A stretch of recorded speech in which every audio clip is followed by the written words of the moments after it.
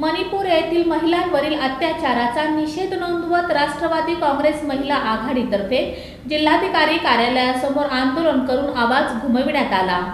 मणिपूर येथील अमानुष घटनेचा निषेध नोंदवत राष्ट्रवादी काँग्रेस महिला आघाडीनं जोरदार आंदोलन करून शासन प्रशासनाचं लक्ष वेधलं. केंद्र सरकारच्या विरोधातही घोषणाबाजी करण्यात आली.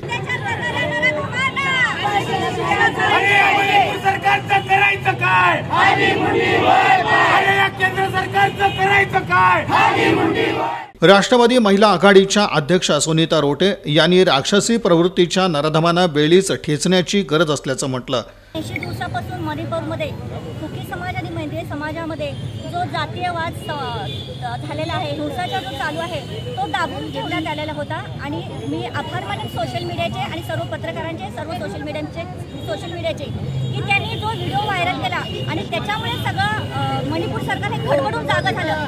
आणि आदेश दिले की म, ज्या मणिपूरमधील कुकी समाजाच्या महिला आहेत अगदी आम्हाला सांगायला सुद्धा लाज वाटेल आणि माणुसकीला काळीमा फासली जाईल अशी ही घटना दुर्दैवी घटना या मणिपूरमध्ये घडलेली आहे. त्यावेळेला सोशल मीडियाने ही व्हिडिओ व्हायरल केला की झालेल्या घटनेचा. तर सरकार जागा झालं आणि आत्ता त्यांचा शोध त्यांची शोध चालू आहे. ज्यांनी हे कृत्य केलं तर त्यांचा शोध चालू आहे. त्यातील दोघं तिघं हे सापडलेले आहेत.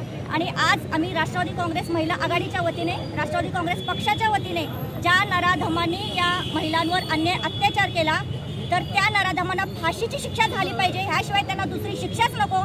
याच्या याच्यासाठी आज आम्ही रस्त्यावर उतरून आंदोलन करत आहोत. या आंदोलनात महिला आघाडीसह पक्षाचे नेते पदाधिकारी कार्यकर्ते आणि महिलांनी सहभाग नोंदवला होता.